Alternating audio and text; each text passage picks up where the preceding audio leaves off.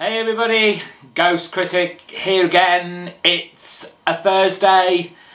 Comic new comics have come out. More new DC issue number twos, um, and it was amazing. I was really digging the issue twos this week.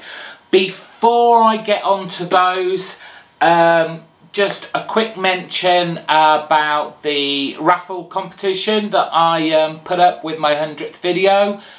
I am cutting it off this evening because you guys have just been absolutely great with all the questions and I've got to go through them all and uh, think about what I'm going to say to make sure I've got some videos up at the weekend answering all your questions and also picking our winner!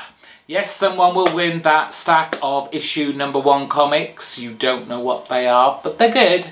They're good. They're an eclectic bunch of issue number one comics. So yes, I'm cutting it off tonight. I will go to bed. Then I will wake up in the morning. I'll print off all the questions and I shall start writing some answers down and thinking about the video.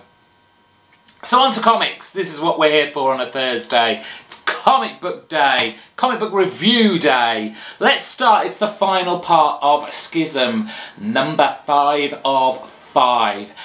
And I... This week it's going to be really hard to try and not to spoil things for you here. Um, so I'll kind of keep it as spoiler free as I possibly can. Um, we ended issue four with Scott and Logan duking it out with each other with the oncoming Super Sentinel uh, making its way to Utopia to absolutely trash it. Um, and it still picks up there in issue five.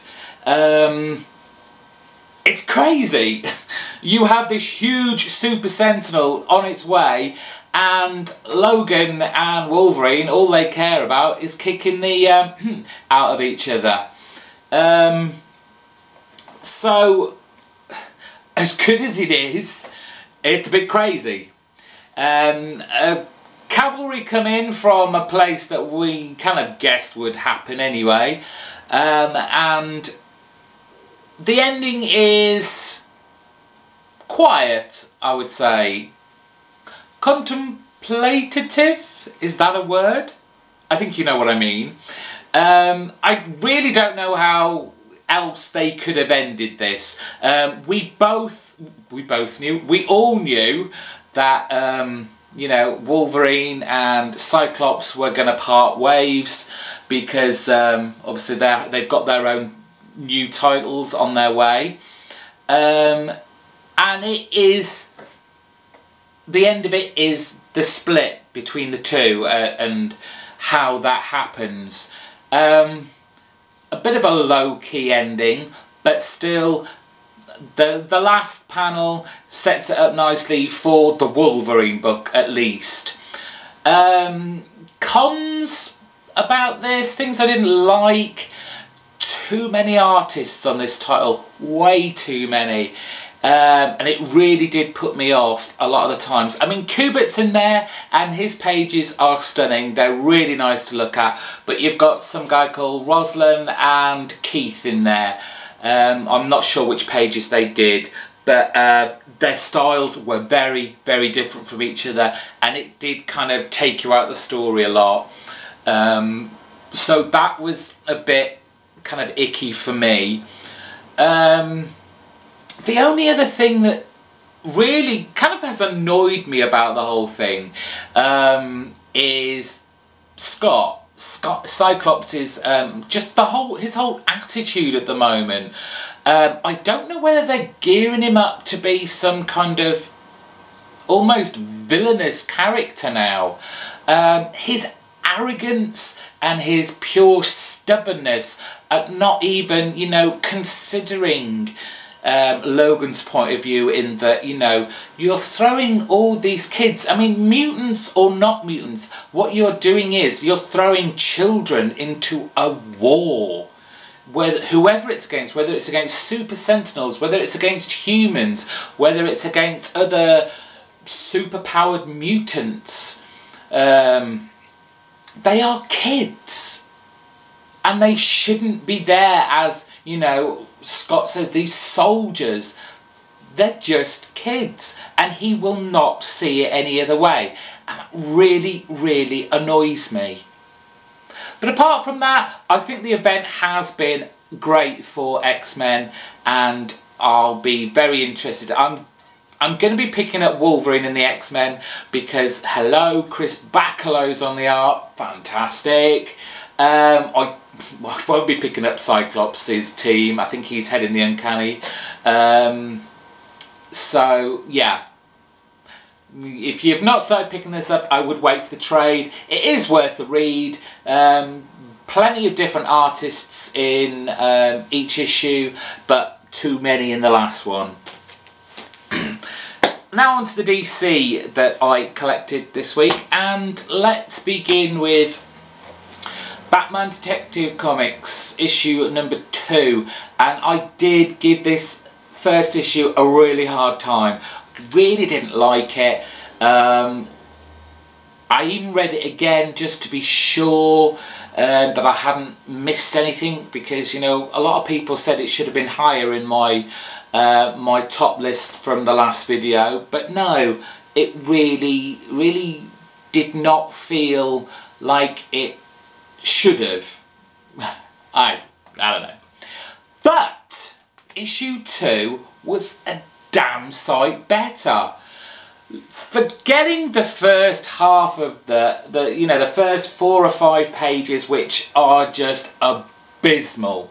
Um, we've got the um, the business guy and the whole male testosterone flowing trying to climb up cliffs in the middle of buildings um, all that ridiculousness.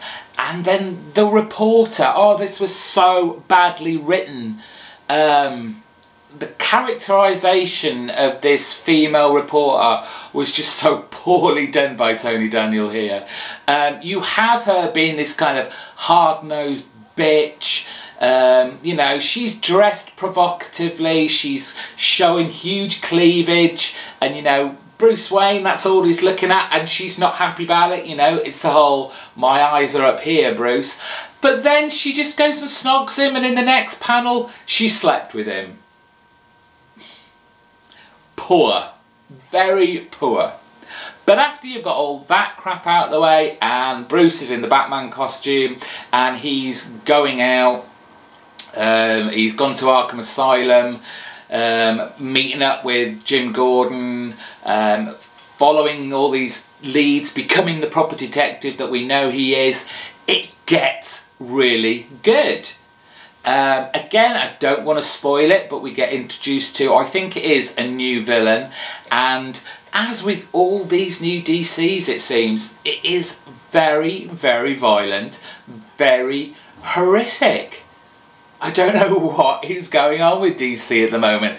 They are seriously not like family friendly comics here. Um, but I'm loving it.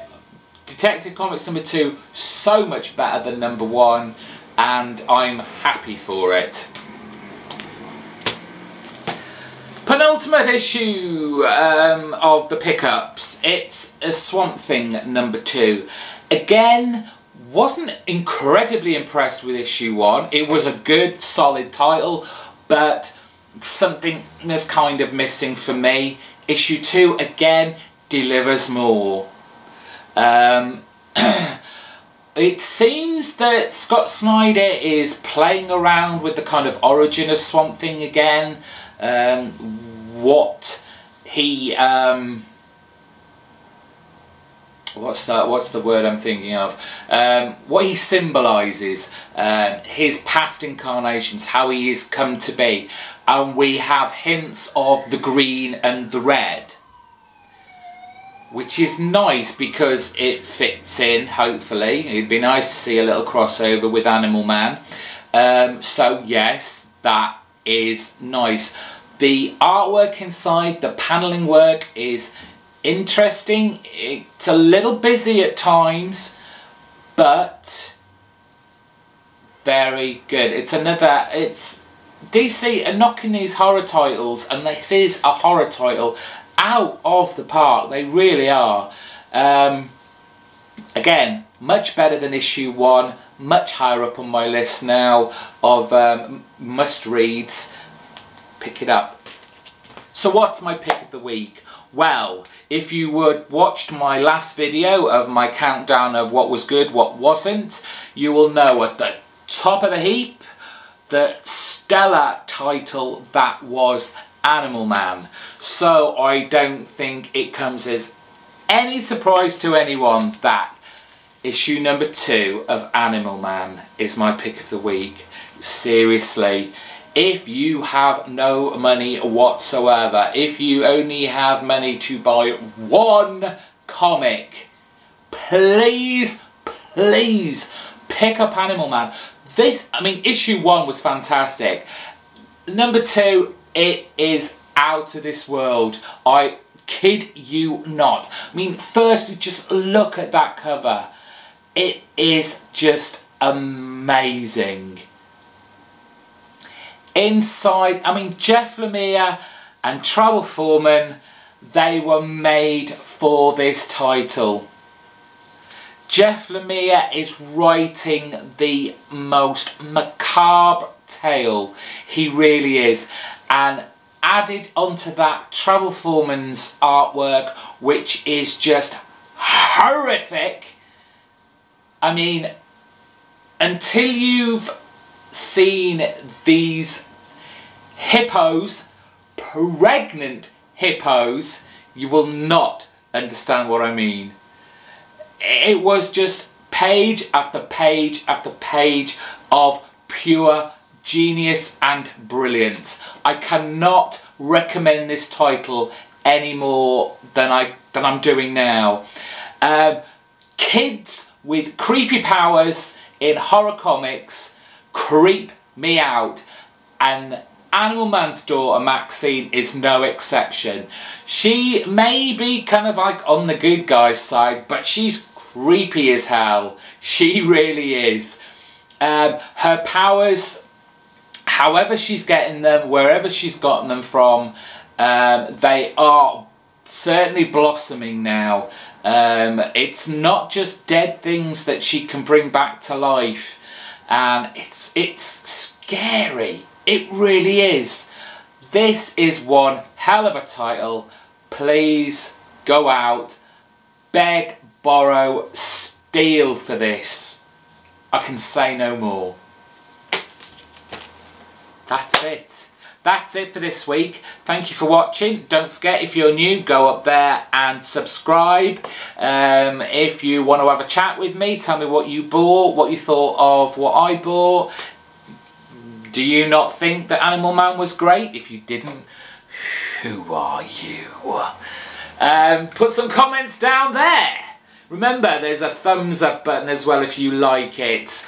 Um, that's me. I'm out of here. See you at the weekend. Don't forget the raffle. You've got till the end of tonight. Bye.